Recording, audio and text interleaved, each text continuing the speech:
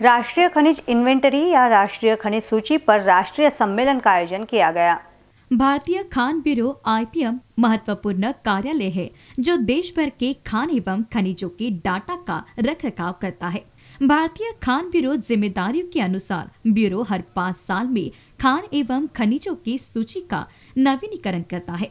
उपरोक्त पृष्ठभूमि के अनुसार भारतीय खान ब्यूरो ने तेईस जनवरी 2020 को मुख्यालय में राष्ट्रीय खनिज इन्वेंटरी या राष्ट्रीय खनिज सूची पर राष्ट्रीय सम्मेलन का आयोजन किया।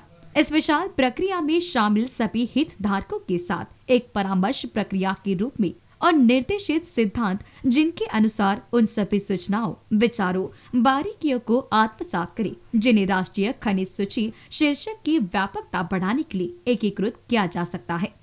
नेशनल कॉन्फ्रेंस का उद्घाटन आईबीएम की कार्यवाहक महानियंत्रक इंदिरा रविंद्रन की अध्यक्षता में हुआ। समारोह के मुख्य अतिथि एस एन मिश्रा, महानिदेशक, भारतीय भूवैज्ञानिक सर्वेक्षण के साथ एस के अधिकारी, मुख्य खनन भूविज्ञानी और डॉक्टर पी के जैन, मुख्य खनिज अर्थशास्त्री ने भी मंच की गरिमा बढ़ाई। MOIL, M C L, J N A R T C, SAIL, BALCO L, NALCO, Hindalco, H L Tata, Vedanta G S I N M T C F I M I सहित कई कंपनियों के प्रतिनिधियों ने हिस्सा लिया।